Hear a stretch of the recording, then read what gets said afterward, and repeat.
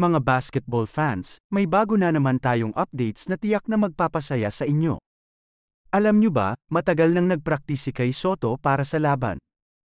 Solid supporters niya, anong mga nangyari noong nag 5 on 5 practice siya noong biyernes?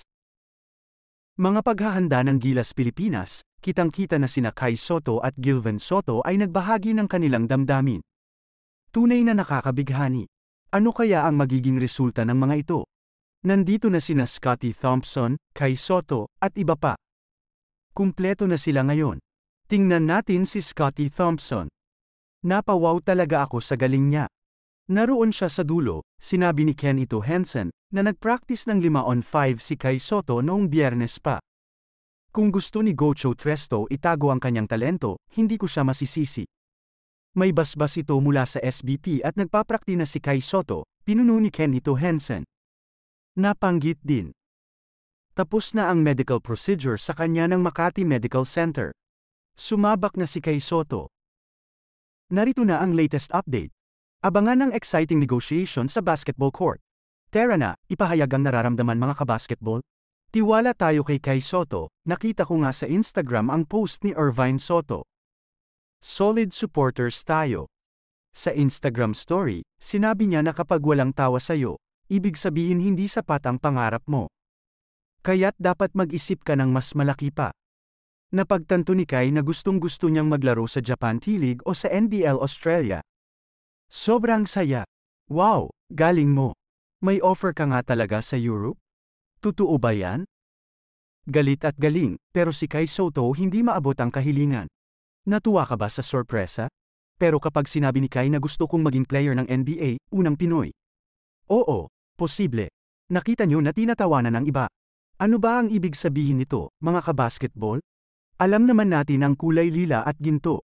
Heto ang mga katotohanan, hindi na natin dapat ipaliwanag yan. Ano ba kayo? Kukondisyon? O sadyang may ganon? Hindi nyo alam to, kabasketball. Aminin na lang. Nahiya ako sa tulong ni paring Google.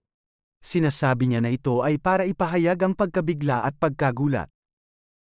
Minsan, ginagamit ito upang magdulot ng atensyon sa isang bagay, tao, lugar, o balita. Halimbawa, upang pag-usapan ang balitang nagdulot ng matinding emosyon at kawilihan sa iyo at maraming ibang tao. Napapawi at nagpapakilig ng puso, mga katangian ng kahangahangang mundo ng basketball. Naway masiyahan ka. Nakabase sa kasalukuyang pangyayari, mahalaga na pag-usapan ang posibleng negosasyon. Totoo nga, sinabi ni Tony Ronson. Tatlong linggo na. Berdeng berde. Darating na ang announcement tungkol sa mga posibleng oferta para kay Kai Soto. Exciting! Ito lang para sa mga kabasketball lovers. Ambiles. Basa na. Narito ang katotohanan, sa usapan natin ng mga offer ni Kai Soto, malabo ang standard contract, mahirap intindihin. Base sa mga totoo, malamang na dalawang-way contract ang pinakamalaking porsyento. At sumunod ang NBA GLEA GUE Ignite. Ang patlo ay isang exhibition na tumatagal ng sampung araw. Kaya ito ang chance ng mga basketball players para mag-training. Mas challenging kaysa NBA GLEA GUE, talagang kakaibang level. Sa Japan GLEA GUE o Europa, sumisikat. Ngunit sa huli, patungong NBA ang punta. Talagang pinag-uusapan. Sinigurado sa atin ni Tony Ransoni na ito ang tunay na pangyayari. Nakausap ko siya kamakailan. Matagal nang may nasaktan si Kai. Napagtanto niya na parang nauunawaan ko kung ano ang gusto nilang mangyari. Pero, mag-ingat tayo sa sobrang inaasahan.